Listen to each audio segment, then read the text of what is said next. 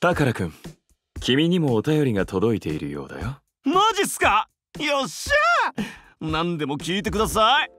パッセンジャーネーム翡翠さんから。タカラくんこんにちは。はいこんにちは。エンターテイナーブロックとても楽しそうですね。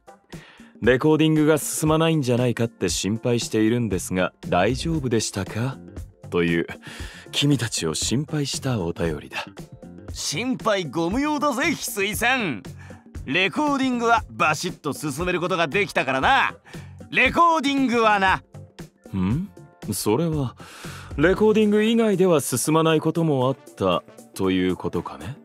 みんなが集まったらとにかく楽しいんで打ち合わせとか練習とかなかなか本題に入らないんすよ。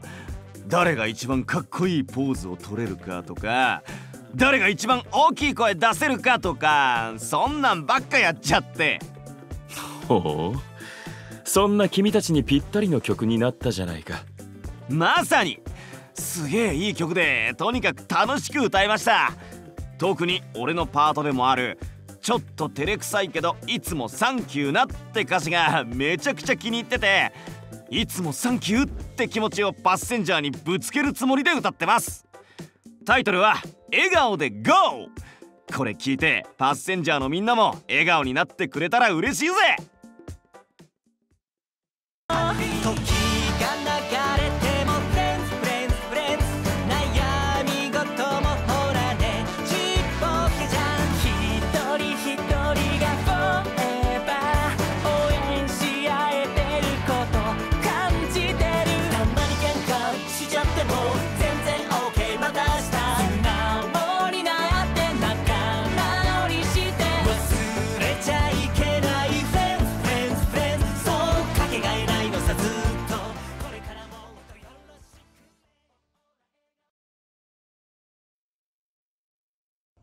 うん。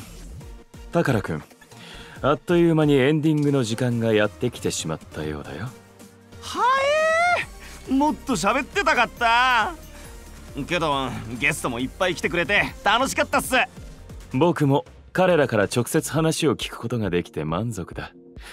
彼らの意外な一面も知ることができたからね。もちろん君の意外な一面も。ええお俺の？どんな一面っすか？熱量と成長を感じられた。とでも言っておこうか。ややったけど俺も陽さんの何かを引き出したかった ぜひとも僕を観察し新たな一面を引き出してくれたまえ。期待しているよ。頑張ります兄貴！それじゃあ駅面総選挙ラジオはここまでだ。またのご乗車。お待ちしています。